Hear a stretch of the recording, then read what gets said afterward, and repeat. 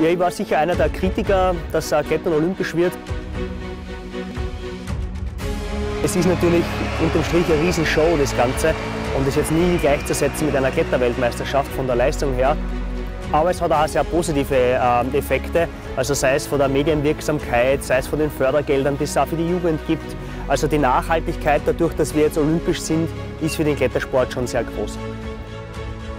Die Athleten haben ja sehr wenig Zeit gehabt, um sich auf dieses Format vorzubereiten, weil als Klettern olympisch wurde 2016, ja, wo das aufgenommen worden ist vom IOC äh, für diese Additional Lists in Tokio, ähm, hat es diesen Modus, diesen Bewerbe so noch gar nicht gegeben.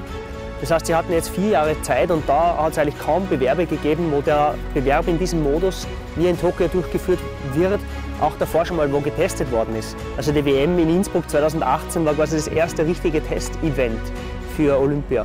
Und die Vorbereitungszeit ist da natürlich extrem kurz. Und wenn man sich jetzt denkt, dass dieser Modus, so wie er dort stattfindet, die Kombination aller drei, in Zukunft gar nicht mehr eine Rolle spielen wird, ist schon ein Wahnsinn, äh, wie sehr äh, da diese Olympiateilnahme äh, den Klettersport verändert hat. Ich habe Speedkletter natürlich selbst auch probiert, ähm, damals, wo es bei uns jetzt noch nicht einmal die Speed-Normroute gegeben hat, also vor den 2000er Jahren und so, habe ich öfter mal Speed gemacht. Aber man darf nicht vergessen, also erstens gibt es Speed-Wettkämpfe schon seit den 40er Jahren in der UdSSR, hat es das damals schon gegeben.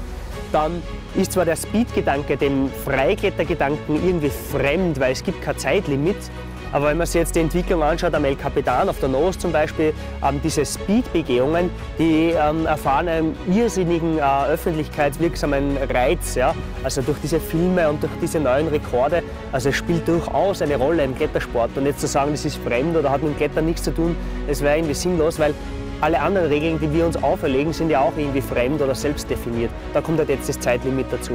Ähm, wie sie sich schlagen wird im olympischen Kontext, werden wir sehen. Und es wird sich verändern, weil es ja wahrscheinlich ab 2024 eine eigene Disziplin sein wird. Wenn man jetzt die Damen anschaut, dann ist für mich die Janja Gandret auf jeden Fall eine der Favoriten.